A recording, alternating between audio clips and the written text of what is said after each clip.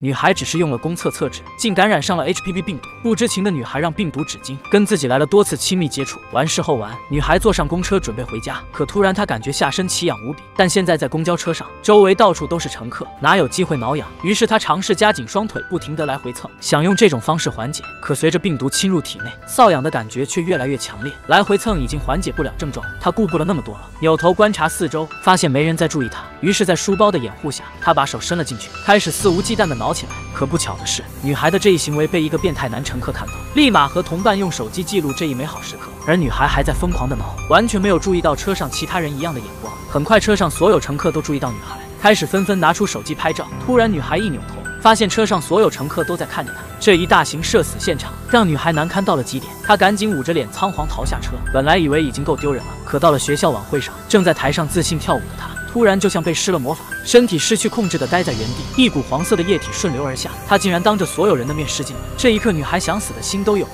看着台下同学们的嘲笑和舞伴们嫌弃的眼神，她愣是站在原地动弹不得。最后还是被两个男同学架了下去。可她不知道的是，暗恋女孩的小帅脸上露出诡异的微笑。原以为厄运到此为止，但更倒霉的是，公交车上的不雅举动被乘客拍下来传到了网上，而此时他已经上了个大平台的头版头条。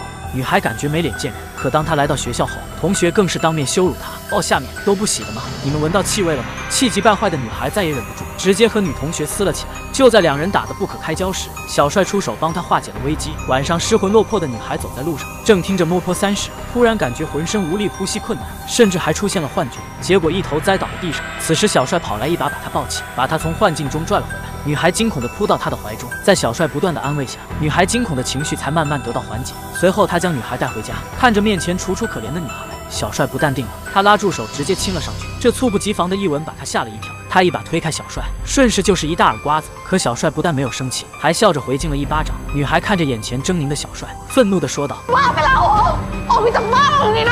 我要回来！”